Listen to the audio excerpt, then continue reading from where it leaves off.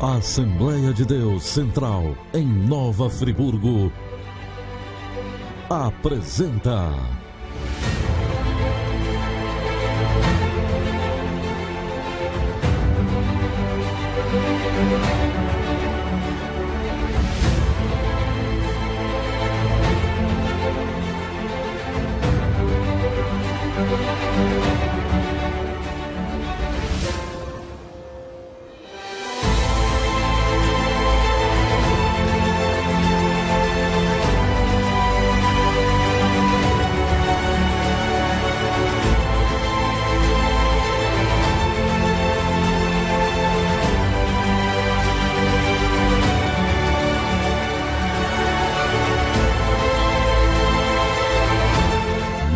Momentos com Deus.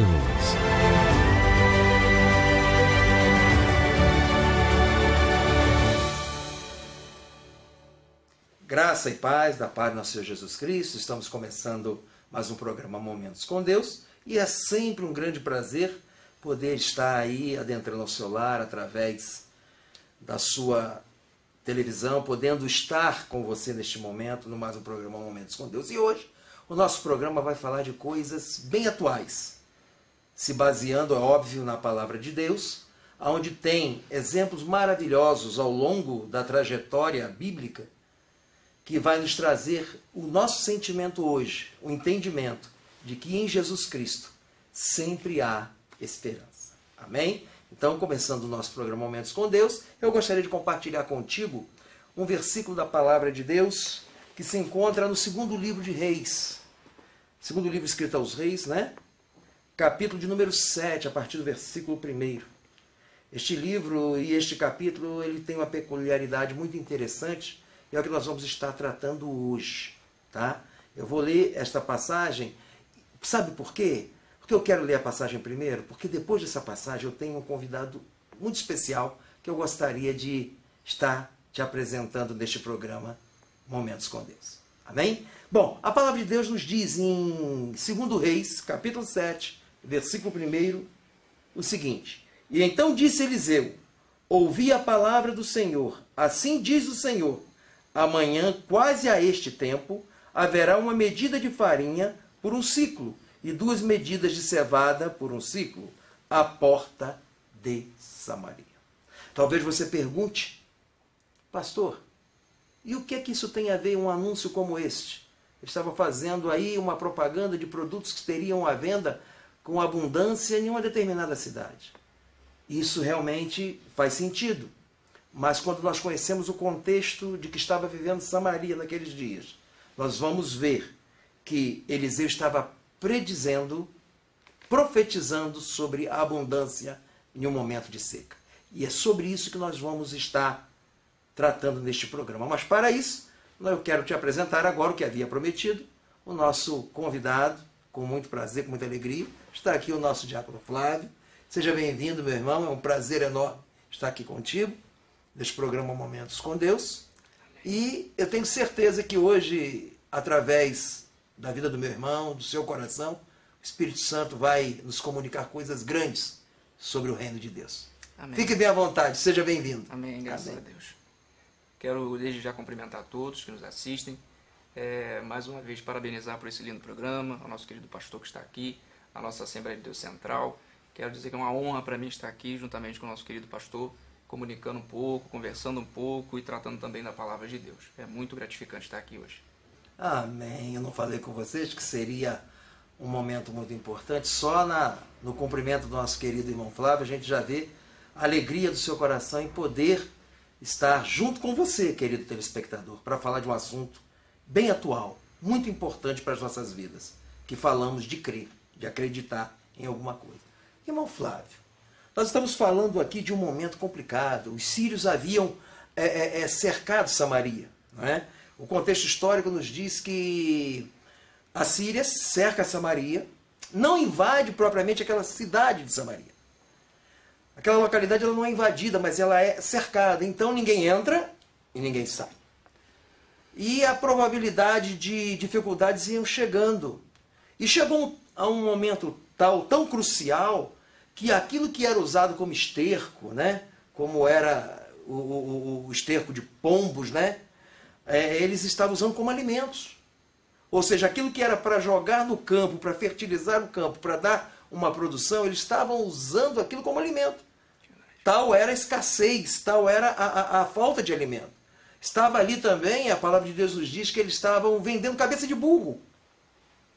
Imagine bem, não é? Alguém se alimentando de cabeça de burro, né? Quem já comeu né? uma cabeça de porco, já teve essa oportunidade, vai ver que não tem nada. Você especula, especula, especula e você não acha nada. Talvez eu acho que a satisfação seja mais na busca de alguma coisa, mas o resultado é bem frustrante. Isso que estava acontecendo naquela cidade. Mas Eliseu chega dizendo o seguinte: que naquele outro dia, quase aquele tempo, ou seja, antes, vamos analisar antes de completar 24 horas de que tudo estava acontecendo, haveria abundância naquele lugar. Irmão Flávio, é possível isso? Ao nosso Deus nada é impossível, pela misericórdia dele. E durante esse contexto dessa passagem, nós vamos ver mais adiante que o milagre vai se concretizar realmente e que Sim. há a providência da parte de Deus no que tange ao mantimento. Era um período muito difícil, nesse período dessa época do cerco, a cidade estava sitiada, não tinha alimentos, não Sim. entrava, a água estava secando. Tem um relato de uma mãe aflita, Sim. que vai tratar sobre um assunto extremamente complicado naquele período. Ou seja, nós vemos ali, naquele período, por parte do povo, um desespero, ou seja, por não ter mais da onde recorrer. Tanto que uma cabeça de burro, de jumento, vai valer é, muito naquela época e esterco de pombo vai servir como alimento. É Ou seja, é um período complicado, um período difícil que está vivendo aquele povo cercado pelo exército do rei da Síria. Sim. Então nós temos que compreender que quando um profeta levanta para poder falar, para profetizar que existe uma provisão, existe algo da parte de Deus que vai acontecer, como bem o senhor falou, antes mesmo de completar 24 horas. Ou seja, existia uma fé e muito além disso, existia um testemunho do profeta Eliseu, ele estava crendo naquela palavra e Deus iria cumprir, como realmente veio a cumprir aquela promessa. Amém. Como você pode ter visto, a explicação do nosso querido irmão Flávio, é, é, é, é, muito ponderada em uma realidade. E essa talvez seja a nossa realidade nos dias atuais. Nós estamos vivendo um cerco, vamos dizer assim, estamos vivendo talvez uma guerra fria. Exatamente. Não é? Porque é onde você. Eu acho que o pior do que a guerra é o rumor de guerra. Porque o rumor de guerra leva você a, a se desesperar, você não sabe de onde vai brotar o problema. Era mais ou menos assim que estava vivendo, e quando o irmão Flávio fala sobre a questão é, é, é, é, da alimentação e da sobrevivência, ele, ele está falando aqui de uma mulher que chega para o rei, que passava sobre o muro, e diz o seguinte: Rei, a minha situação é, é vexatória, é complicada, nós não temos mais condições. E o próprio rei diz para ela: Olha, se Deus não agir, eu não posso fazer nada. O rei já estava vestido com silício, que era um, um, uma, uma, um pano tecido ou de clina de animal, qualquer coisa assim, que simbolizava é, é, é, é, tristeza, humilhação, falta de provisão, tudo aquilo o rei estava. O rei, imagine o rei que cuidava, o rei que deveria prover todos os mantimentos, estava vivendo isso. Então ele diz para aquela mulher que não tinha jeito, mas sabe qual era a preocupação, queridos, irmão Flávio, daquela mulher? É porque naquele tempo eles estavam se alimentando de carne humana havia um acordo, olha, vamos fazer, hoje nós comemos o seu filho e amanhã nós assaremos o seu para nossa alimentação. E o que foi que houve? O filho de uma delas havia sido oferecido como alimento, e no outro dia aquela mãe escondeu o filho. Qual é a mãe, qual é o pai que não esconde os seus de momentos de dificuldade? Qual é a mãe e um pai que vai dar seu filho para servir de alimento para outro, mesmo numa situação complicada? Mas isso acontecia. E nos dias atuais, qual é o seu desespero? Qual é a sua preocupação? E como nós devemos vencer isso? É isso que nós vamos estar vendo através da palavra que o nosso irmão Flávio vai estar trazendo daqui a pouco para nós. Nós vamos para um breve intervalo e daqui a pouco nós voltamos com o nosso programa Momentos com Deus.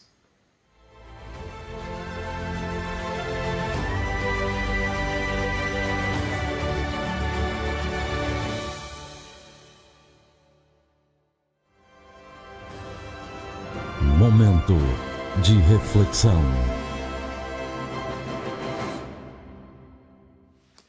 Meus irmãos, quando nós estávamos conversando acerca do, daquele texto, daquele contexto de 2 Reis, capítulo de número 7, eu quero também trazer uma palavra para você que me assiste, é, de um momento de dificuldade que se apresentou na vida de um homem. Se encontra em Marcos, o Evangelho de Marcos, segundo escreveu Marcos, capítulo de número 5, versículo de número 21. Eu vou estar lendo, se você tem um exemplar da Bíblia, seja física ou no smartphone, pode me acompanhar também. Diz assim a palavra do Senhor. E passando Jesus outra vez num barco para o outro lado, ajuntou-se a ele uma grande multidão, e ele estava junto do mar.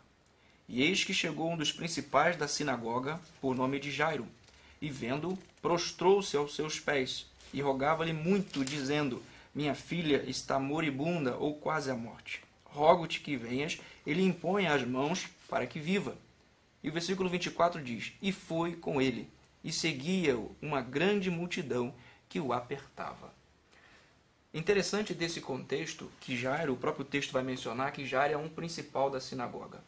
Naquele período de Cristo existia o templo, que era o local de adoração do povo, que eles iriam lá para poder estar se reunindo, para poder adorar de uma maneira geral ao próprio Deus, mas também existia as sinagogas, que eram o local de aprendizado da palavra de Deus. Naquele período, Jairo era um dos principais, era um dos encarregados de uma sinagoga, um homem que existia naquele período para poder estar conduzindo os trabalhos, ensinando o povo juntamente com seus assistentes que também conduziam aquele trabalho. Era um cargo importante. Era um homem que era visto pela sociedade como um homem realmente conceituado. Ou seja, era um homem que tinha uma autoestima naquele período. A Bíblia nos relata em várias passagens que Jesus era um assíduo das sinagogas. A próprio Jesus, quando vai no Evangelho de Lucas, capítulo 3, capítulo 4, a Bíblia vai nos relatar que Jesus após sair da tentação no deserto, ele vai adentrar a uma sinagoga. Ou seja, Jesus curava na sinagoga, nós temos o relato do homem que chegou com a mão ressequida, Jesus libertava na sinagoga, ou seja, então ele era um homem, Jesus naquele período, e também Jairo, Jairo era um homem que conhecia a Cristo dessas, desses milagres e dessas providências divinas. Mas a Bíblia diz que após Jesus no contexto aqui, atravessar após a libertação do Gadareno, atravessa o mar e vai dar de cara ou de encontro com Jairo e uma multidão que já o esperava. Mas o interessante é que Jairo, naquele período, ele vai entender e compreender que as suas posições, os seus contextos, os seus paradigmas, o seu status social naquele período não valia de nada, porque a sua filha estava moribunda, estava à morte. E ele vai recorrer para quem poderia solucionar o seu problema que naquele contexto era quem? Jesus Cristo. Então, irmão, eu quero, nessa período que eu estou dialogando com você, falando para você, eu quero que você entenda que por mais que você possa ter um status social, que você tenha uma posição elevada, tudo isso, às vezes se apresentam soluções ou problemas na sua vida, melhor dizendo, que as soluções, ou seu status, o seu dinheiro, ou tudo aquilo que lhe cerca não vai trazer a solução para o seu problema. Então você precisa recorrer para alguém que possa fazer ou dar a solução daquilo que você precisa. E nesse período eu quero dizer para você, a solução para a sua aflição, para a sua luta está em Jesus Cristo. Jairo compreendeu isso. Ele vai recorrer ou vai se jogar aos pés de Cristo, atestando e dizendo para Jesus que Jesus era a única solução para o problema que ele tinha. Ou seja, ele queria que a filha dele fosse curada. E o interessante é que Jesus, após ver esse homem que era conceituado, esse homem que deixou paradigmas, preceitos, deixou uma carga que estava sobre ele para trás e se prostrou aos pés de Cristo, a Bíblia diz no versículo de número 24 que Jesus o seguiu. Jesus foi com ele e uma multidão o apertava. Só que o interessante é que Jesus o seguiu, um milagre estava pronto ou prestes a acontecer e naquele período, a Bíblia diz no versículo número 25 que vai acontecer um hiato, um período de um tempo. Ou seja, o milagre de Jairo vai ser sobrestado, ou seja, vai ficar em stand-by, podemos dizer assim. Por quê? Jairo estava com uma expectativa. Jairo queria mais, Jairo queria milagre, sabia que Cristo estava acompanhando. Mas só que naquele período vai se apresentar uma mulher. Essa mulher do fluxo de sangue, você conhece bem a história, era uma mulher que era segregada pela, pela sociedade de uma maneira geral. Era uma mulher que não poderia estar em espaços públicos com muitas pessoas, onde ela sentava, as pessoas, o local ficava impuro, ou seja, uma mulher que estava fora do contexto ou fora da, da sociedade de uma maneira geral. Mas ela também vai compreender que a situação dela é uma situação crítica e ela precisava estar diante de alguém ou tocar em alguém que pudesse trazer a cura para ela. A Bíblia diz que ela já tinha despendido muitos valores com médicos e não tinha solução. Então, nesse contexto da passagem, um homem rico e uma mulher muito pobre, que já tinha muito pobre por ter gasto já tudo o seu, o dinheiro, ou seja, ela já tinha gasto tudo que podia com o tratamento, não tinha conseguido a solução. E nesse período de luta, de dificuldade e aflição que se apresentou, os dois vão recorrer a Cristo. Jairo, nesse momento, talvez descendo ali, correndo com Jesus, para ir à sua casa, ficou aflito porque aquele período é, que estava esperando o milagre e não acontecia porque Jesus estava dialogando, procurando saber quem o havia tocado, porque aquela mulher chega por trás da multidão, toca em Jesus, Jesus vai parar a multidão, dizer quem perguntar à multidão quem o tocou. Mas um contexto interessante é que em Malaquias 4:2 vai ter uma promessa por trás do toque dessa mulher. Em Malaquias 4:2, se você puder abrir, diz assim: "Mas para vós, o que temeis o meu nome, nascerá o sol da justiça, e a cura trará nas suas asas, e saireis e saltareis como o bezerro da estrebaria. Interessante, irmãos, que a asas ali também tem um contexto no original de canaf, que também pode trazer vestes. Então essa mulher estava tendo um testemunho de fé quando ela vai correr até Jesus e tocar na orla do seu manto. Ela estava crendo que Jesus era o sol da justiça, o prometido para Israel. Ela vai além, ela quer mostrar para Cristo que ela estava acreditando naquilo que Jesus pregava. E o interessante é que o contexto vai dizer que, versículo 30, e logo Jesus, conhecendo que a virtude de si mesmo saíra, voltou-se para a multidão e disse: Quem o tocou? Quem me tocou? Ele olhava em redor procurando a que isso fizera. Mas no versículo 34, 33 a mulher se apresenta, no 34 ele vai dizer: Filha, a tua fé te salvou. Vá em paz e ser curada desse seu mal. Ou seja, ela recorreu a quem poderia ter a solução para o problema. Em 2 Reis, capítulo de número 7, nós vamos ver como a sociedade estava totalmente abalada, estava totalmente restrita, estava totalmente presa dentro de um contexto de podridão, de sequidão, um contexto é realmente devastador para aquela sociedade. Eu não sei o que se passa na sua vida, eu sei, não sei nesse momento o que se passa no seu coração, mas eu quero dizer para você, através das palavras de Deus, se entregue a Ele, proste-se a Ele, recorra a Ele, porque Ele verdadeiramente tem a solução para tudo aquilo que você precisa. A Bíblia diz que após conceder esse milagre da mulher do fluxo de sangue, a Bíblia diz que os principais, os auxiliares do principal da sinagoga, vai dizer para Jairo dizendo: "Não enfade mais o mestre, porque a sua filha já morreu". Ou seja, imagina você o desespero que deve ter se apresentado na vida de Jairo. Ou seja, o milagre que ele estava recorrendo, ou seja, naquele momento não tem mais como ser feito absolutamente nada, porque a menina tinha morrido. Eu não sei o que você tem pedido a Deus, não sei o que você tem almejado a Deus, não sei o que você tem implorado a Deus, rasgado o seu coração diante de Deus, se é um problema físico, se é um problema na saúde, se é um problema emocional, não importa. Se apegue naquilo que Jesus vai dizer para esse homem no versículo 30, 36. Não temas, crê somente. Ou seja, creia nos milagres e na providência que Deus tem para a sua vida. Creia que Deus é o melhor e a única solução para a sua vida. Jesus Cristo tem tudo aquilo que você precisa. Embora às vezes nós, a nossa sociedade diga o contrário, nós temos plena confiança que Cristo é tudo aquilo que nós precisamos. A Bíblia diz que Jesus, tomando, não permitiu que a multidão seguisse, mas ele vai pegar consigo Pedro, Tiago e João. Esses três homens, irmãos, mais é, confidentes de Jesus Cristo, são os homens que presenciaram alguns milagres que nenhum dos outros apóstolos presenciaram. Ou seja, eles estavam com Jesus. E o interessante é que no versículo 38, tendo chegado à casa do principal da sinagoga, viu o alvoroço e muita gente chorava.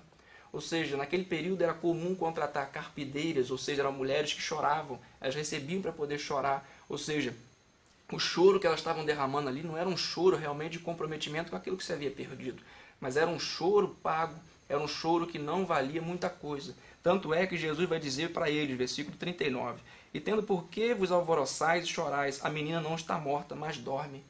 Tanto é o contexto que eles não estavam nem um pouco preocupados com a menina, porque a Bíblia diz que no versículo 40 eles riram de Jesus. Eles riram daquilo que Jesus estava falando. Só que o interessante, se você procurar também no original, o dorme aqui de Jesus, Jesus não vai estar dizendo, ou seja, é, está se contradizendo, afirmando que a menina realmente está dormindo. Não, a menina está morta.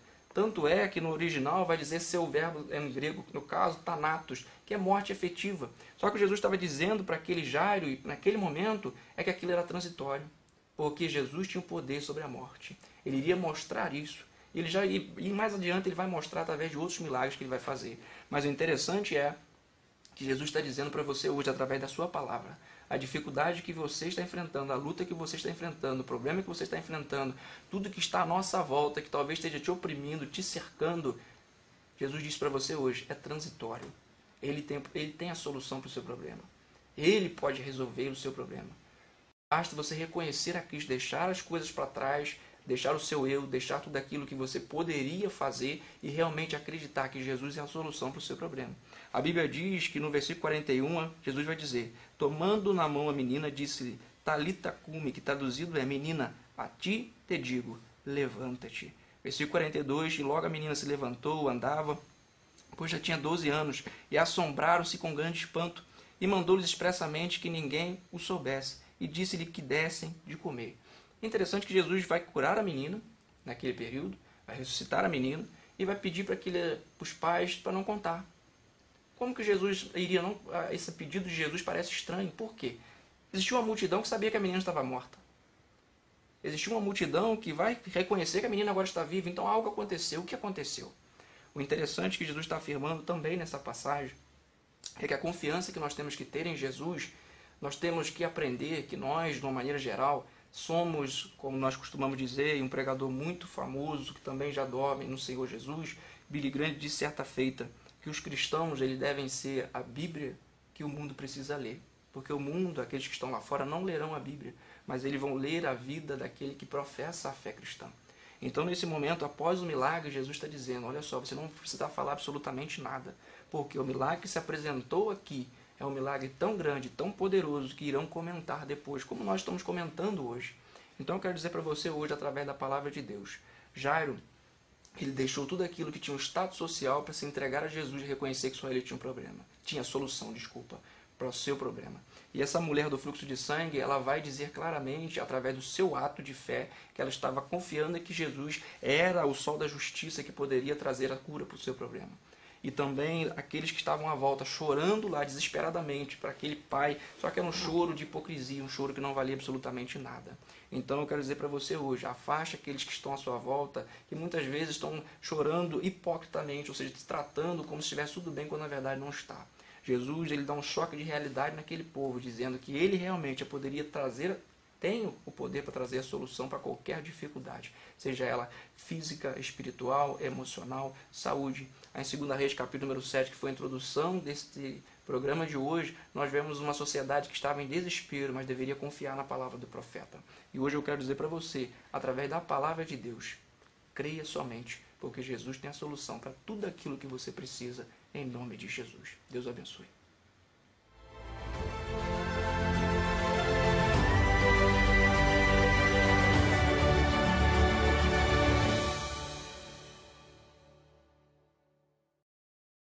Glória a Deus, né? Que maravilha. Irmão Flávio, é um prazer enorme poder tê-lo aqui conosco. Espero que volte mais vezes. Amém. Porque palavras assim, elas nos trazem uma convicção do, de qual é o papel da igreja, de qual é o meu papel, de qual é o seu papel que está aí nos assistindo neste momento acerca da palavra de Deus. A comunicação dos feitos de Deus, não de forma verbal, mas de forma vivível. Não sei se isso seria o termo correto. né? Que você venha viver isso a cada dia, viver o milagre de Deus. Por que, que nós começamos aqui falando de segundo reis, lá do Antigo Testamento, depois nosso querido irmão Diácono Flávio trouxe para nós uma palavra baseando-se no Novo Testamento, em Marcos 5. E nós estamos hoje falando sobre talvez o meu, o seu, o nosso problema, a nossa dificuldade, a nossa necessidade de crer. Porque tanto faz, lá no Antigo Testamento, onde tudo parecia não ter jeito, o homem de Deus disse que deveriam crer que aconteceria um grande milagre. Um grande milagre de sustentação. Um grande milagre de trazer de volta a vida. Na passagem que esteve em apreço pelo nosso querido irmão Flávio, nós ouvimos que já era um homem de proeminência, ele se prostrou aos pés de Jesus e a palavra diz que ele rogava. E, e, e dá uma qualificação para esse rogar, né? ele rogava muito. Ou seja, rogar significa pedir com insistência. Não desista de pedir a Deus. Mesmo que você peça e parece que nada aconteceu, insista. Não insista com Deus, mas insista no seu propósito de fé. Porque quem crê, ele não desiste. Quem crê, ele não cobra. Quem crê, ele acredita mesmo. Quem crê, leva efeito. E nos nossos dias? O que você está vivendo agora? O que você está passando agora? Qual é o seu problema? Como fora dito aqui, aquela menina, quando Jesus disse que ela dormia, na realidade ele está dizendo: quem dorme acorda. Então ele está dizendo: a menina vai ressuscitar. Mas na realidade, realmente ela estava morta. Talvez algumas coisas em nossas vidas nós já devemos ter até dito. Está na hora de pararmos de plantear porque não tem mais jeito, já morreu, não tem mais volta. Se Jesus estiver neste barco, nesta situação, com certeza sempre terá volta, sempre terá um retorno, porque Jesus tem o melhor. Basta somente, como disse a palavra, crer. Queridos, como vocês já sabem, nosso programa está chegando ao final. Passa tão rápido, né? A gente sente a necessidade de dizer para você que mesmo que esse programa tenha passado um pouco rápido, porque nós estávamos compenetrados nesta palavra linda que Deus colocou no coração do nosso irmão, que hoje veio regar nossas vidas de esperança e de fé. Mesmo que tudo isso tenha assim, essa comunicação tenha sido rápida, mas ela será vitalícia para a minha vida e para a sua vida. A partir de hoje, pensaremos diferente. A partir de hoje, saberemos que basta somente crer para o grande milagre acontecer.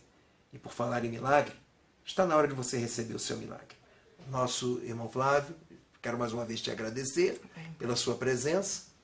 Espero realmente que o irmão volte mais vezes. Amém. E queria pedir ao nosso irmão que orasse por nós, orasse pelos nossos telespectadores, orasse pelas famílias que neste momento estão nos assistindo. E eu quero que você, neste momento, receba esta oração. Dentro do seu propósito, dentro do seu problema, é como se disse: não conte a ninguém. Você não precisa contar para ninguém. Só conta para Jesus agora. Junto com a oração do nosso querido irmão. Aonde é a tua dor? Confia, porque Jesus fará um milagre. Diácono Flávio, é Amém. é contigo. Ora por esta igreja que nos assiste neste momento. Amém. Graças a Deus. Oremos em nome do Senhor Jesus. Senhor, meu Deus e meu Pai querido amado Senhor nesse momento, ó Pai, que nós tivemos para poder compartilhar a Sua palavra. Mais uma vez, ó Pai, aprendemos, ó Pai, daquilo que o Senhor ministrou ao nosso coração, Senhor. Sim. Deus, em nome do Senhor Jesus, ó Pai, as pessoas, ó Pai, que estão nos assistindo, Senhor, Tu conhece a dificuldade, conhece a aflição, conhece, meu Pai, tudo aquilo que cada um precisa. Dê vitória ao teu filho, meu Senhor, a tua filha nesse momento, Senhor. Ensina-nos, ó Pai, a confiar, a crer em Ti, meu Pai, no seu milagre, na sua promessa e naquilo que o Senhor tem feito, meu Pai, a cada dia. Que nós venhamos a ser gratos pelos pequenos milagres que se apresentam a cada dia, Pai. Que às vezes nós não conseguimos visualizar, mas a todo momento o Senhor está nos guardando. Deus, em nome de Jesus, ser com cada um que nos assiste nesse momento, ó Pai, e que esse programa, Senhor, seja cada dia mais um momento de intimidade para com o Senhor, um momento de agradecimento a Ti pelas Suas benevolências para conosco. Abençoe a cada um e que a cada dia mais nós possamos estar na Tua casa louvando e bendizendo o Teu nome, não importando quais circunstâncias que nos cercam. Em nome de Jesus, muito obrigado, meu Pai. Amém. Queridos, acabou o nosso programa. Só quero lembrar a você que nesse mês de dezembro nós temos grandes encontros aqui do nosso programa Momentos com Deus. Espero vê-los nos próximos programas. Fiquem com Deus, que Jesus os abençoe.